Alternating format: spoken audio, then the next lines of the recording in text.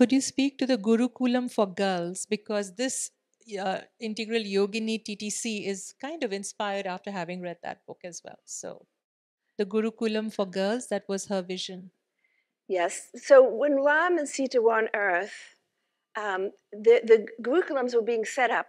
They were the first schools the, the, the, to pass down the knowledge of the Vedas because the Vedas had been kept alive through oral transmission.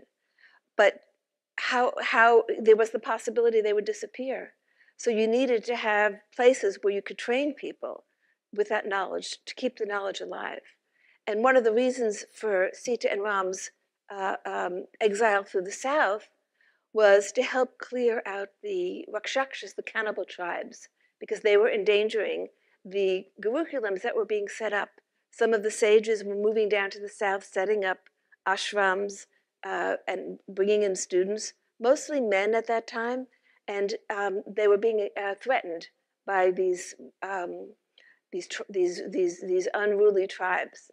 And so that was part of the work of, of Ram and Sita, was to protect these Gurukulams that were being set up. When they came back to Ayodhya, uh, there was Sita, Sita had wanted to set up a Gurukulam for girls, which was a novel idea.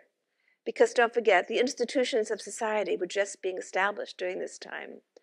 Uh, and the first thought was that the men who had been uh, um, taking, leading, I suppose, uh, were going to lead the ashrams. And she was able to set up, I think it may have happened after she had departed, but a Gurukulam for girls was set up. And from there, at that time, there were Gurukulams for girls. Eventually, eventually they disappeared.